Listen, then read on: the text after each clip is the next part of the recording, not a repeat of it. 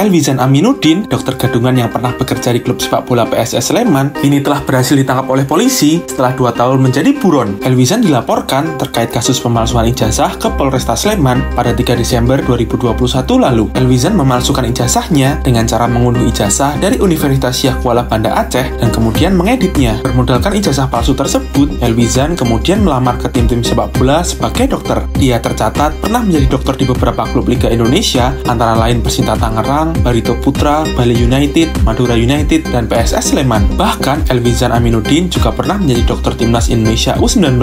Selama menjalankan profesinya ini, Elvizan mendapat gaji mulai dari 15 juta hingga 25 juta rupiah. Elvizan diketahui hampir mencelakakan kiper timnas Indonesia Hernando Ari. Saat itu, Elvizan melarang Ari yang sedang cedera untuk melakukan operasi. Setelah pelarian panjangnya, Elvizan akhirnya bisa ditangkap di rumahnya di Cibodas pada Rabu 24 Januari 2024. Elvizan ini ternyata hanyalah seorang kondektur bus di daerah Tangerang dan tidak memiliki background pendidikan dokter sama sekali. Kini pelaku sudah ditangkap dan terancam hukuman penjara 4 atau 6 tahun.